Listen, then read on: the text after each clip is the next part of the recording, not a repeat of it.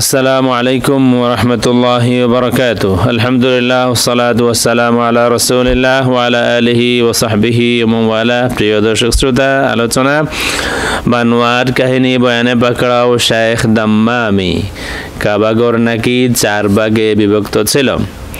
এই শেখ দাম্মামি তারাবির সালাদ বিশ রাকাত সুন্নত নয়, প্রমাণ করতে চেয়ে। এবং আট রাকাত সুন্নত এই কথা প্রমাণ করতে চেয়ে বিভিন্ন কিচ্ছা কাহিনী বা নোয়াট তিনি আশ্রয় নিয়েছেন।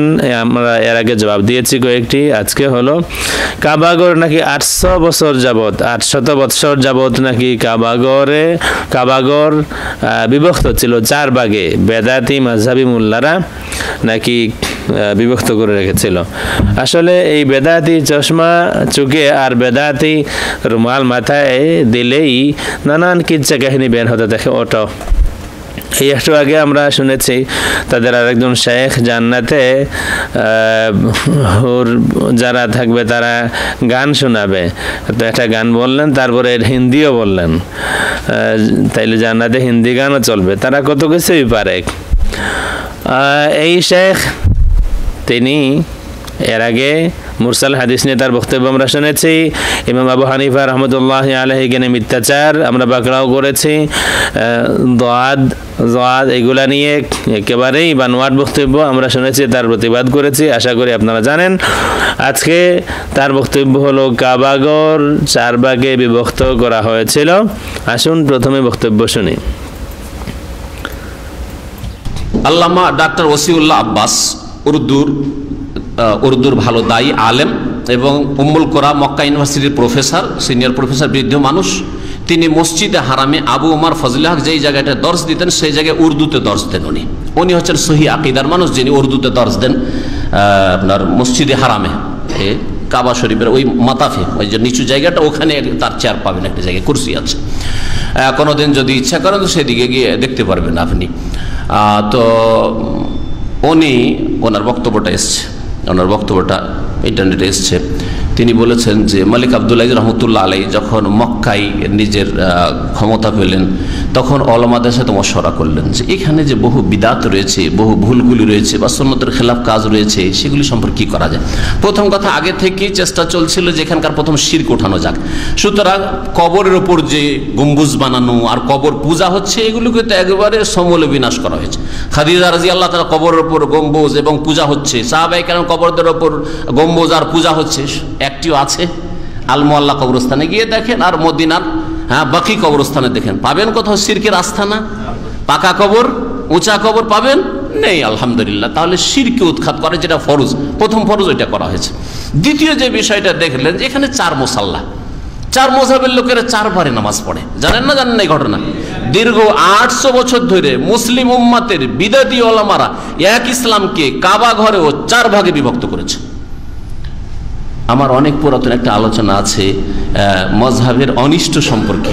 মজহাবের বা মজহাবি গোড়ামির অনিষ্ট তকলিদের অনিষ্ট। তার একটা দিক হচ্ছে যে কাবা ঘরকে চার ভাগে বিভক্ত করেছিল।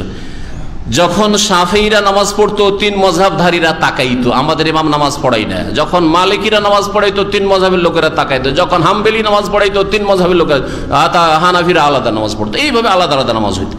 কত খারাপ দৃশ্য। এই দৃশ্য দেখে কাফির, ইহুদি, হিন্দু, নাসারা তো হাসবে। আমরা বক্তব্য শুনলাম কাবাগরকে চার ভাগে বিভক্ত করা হয়েছিল, আপনারা পরিষ্কার শুনলেন। কাবাগরকে মাঝহাবি, বেদাতি মোল্লারা চার ভাগে বিভক্ত করে রেখেছিল। এটা কি কোনোদিন হচ্ছে কাবাগর বিভক্ত হয়েছে? প্লাস যেই তথ্য তিনি দিলেন, চার মাঝহের জামাত চারবার হতো। এখন পর্যন্ত বিশ্বাসযোগ্য কোনো তথ্য আমার নজরে পড়েনি যে একই নামাজ চারবার হতো। এখন পর্যন্ত বিশ্বাসযোগ্য কোনো তথ্য আমার নজরে পড়েনি। এটা বানোয়াট বানোয়াট বহু বক্তব্য তো আমরা এই শেখের বক্তব্য দেখে আমরা প্রমাণ করলাম। এটা সম্ভবত তার একটা বক্তব্যের চতুর্থ জবাব আরও হয়তো আসবে। কাবাগরকে কোনোভাবেই বিভক্ত করা হয়নি। তার বক্তব্য থেকেও যা প্রমাণ হচ্ছে, তা হলো, তিনি বলতে চাচ্ছেন, মাতাফের মধ্যে চারটা মুসাল্লা ছিল বা চারটা মেহরাব ছিল, চার মেহরাবে চার ইমাম নামাজ পড়াতেন। তার বক্তব্য হলো, একই নামাজ চারবার হতো। আমি তো বললাম, এখন পর্যন্ত একই নামাজ চারবার হতো, এমন বিশ্বস্ত কোন তত্ত্ব আমার নজরে পড়ে নেই। কারও কাছে যদি বিশ্বস্ত কোন তত্ত্ব থাকে, তাইলে আপনারা দিবেন। এটা হলো তাদের তাদের দখল পাকাভুক্ত করার জন্য বিভিন্ন কিচ্ছা কাহিনী বানাতে হয়, তারা বানিয়েছে। আর এই সমস্ত পেইড মোল্লা যারা, তারা এগুলি চর্বণ করছে। এগুলি তারাই বয়ান করে মানুষকে বোঝানোর চেষ্টা করছে। হ্যাঁ দেখো, কাবাগরকে চার ভাগে বিভক্ত করে ফেলেছিল। আল্লাহ মিথ্যাচারের, খেয়ানতের বানোয়াট গিচ্ছে কাহিনী একটা সীমা থাকা দরকার। এটা সীমা থাকা দরকার। এটা সবাইকে হার মানালো। যারা এই কিচ্ছা কাহিনী বলে, এদের সবাইকে হার বানালো। কাবাগরকে চার ভাগে বিভক্ত করে ফেলেছিল। মাহাদাল্লাহ মাহাদাল্লাহ প্রিয় দর্শক শ্রোতা, এই ওনাকে মতিবাই বলেছিলাম আর একজন আপত্তি করেছেন। যাই হোক, এই যে বলেন, আটশো বছর যাবৎ, এই আটশো বছর যাবৎ কিং আব্দুল আজিজ কবে আসলেন?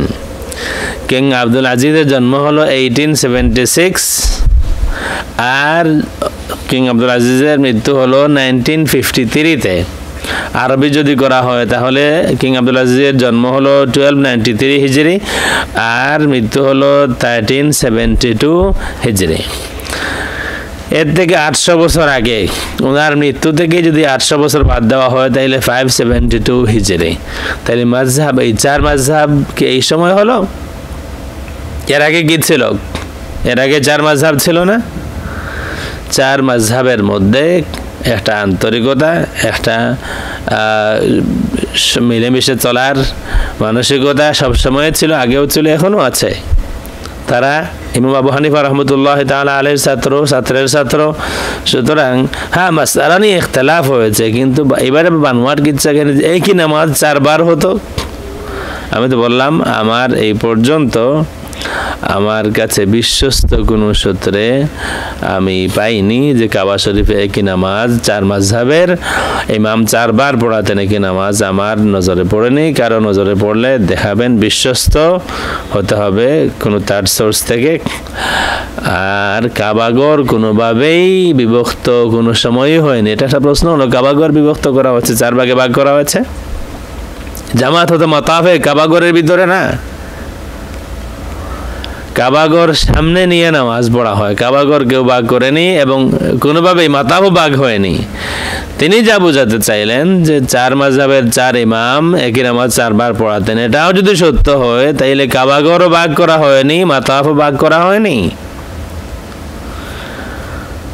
আল্লাহ রাব্বুল আলমিন এইসব বানোয়াট কিচ্ছা কাহিনীকার যারা আছে, আর ওই যে জান্নাতে হুরদের গান যারা শোনায়, আল্লাহ রাব্বুল আলমিন এদেরকে হেদায়ত দান করুন। ওরা কিছু টনিক পায়, আর এই টনিকের জোরে নানান কিচ্ছা কাহিনী বানায়।